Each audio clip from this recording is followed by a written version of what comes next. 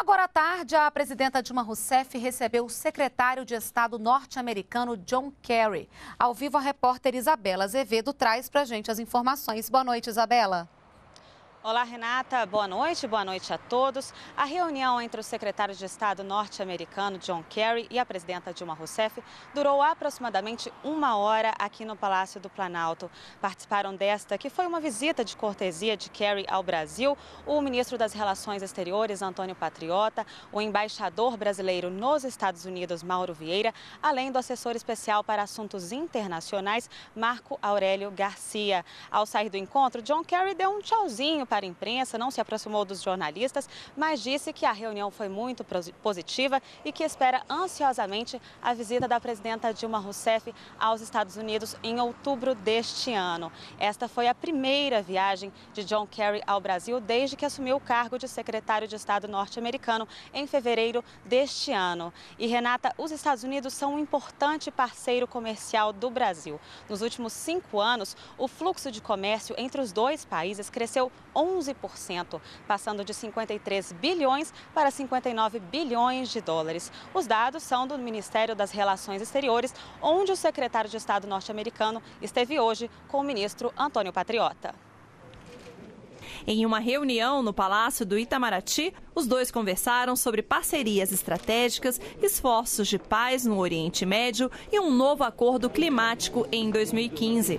Patriota também cobrou esclarecimentos do governo dos Estados Unidos sobre uma denúncia de interceptação de dados e informações de brasileiros e empresas instaladas aqui. O Brasil seria um dos países onde a Agência de Segurança Nacional dos Estados Unidos, NSA, na sigla em inglês, atuaria. Hoje enfrentamos um novo tipo de desafio em nossa relação bilateral. Um desafio relacionado a notícias de interceptação de comunicações eletrônicas e telefônicas de brasileiros. E caso as implicações desse desafio não sejam resolvidas de modo satisfatório, corre-se o risco de se projetar uma sombra de desconfiança sobre o nosso trabalho. Uh, foram estabelecidos canais técnicos de comunicação, os canais políticos estão abertos, esclarecimentos estão sendo solicitados, mas os esclarecimentos não são um fim em si mesmo. E ouvir esclarecimentos não significa aceitar o status quo.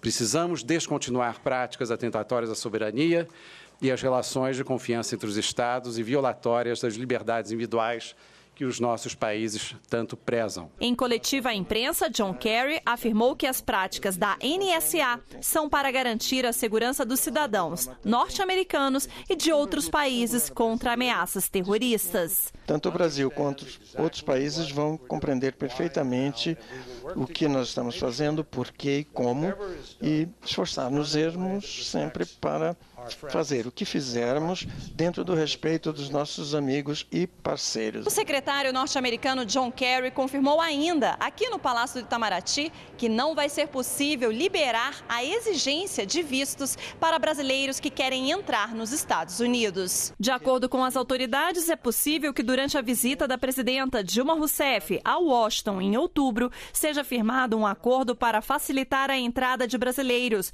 por meio do programa Global Entry.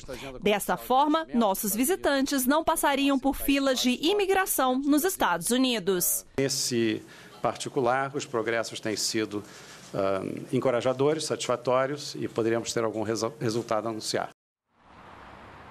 E ainda hoje, Renata, o secretário de Estado norte-americano John Kerry se encontrou com o ministro da Educação, Aloysio Mercadante, para discutir o Ciências Sem Fronteiras, o programa que concede bolsas de estudos a brasileiros, eh, a estudantes de graduação brasileiros no exterior. E segundo informações do Palácio do Planalto, o secretário de Estado já embarcou para os Estados Unidos.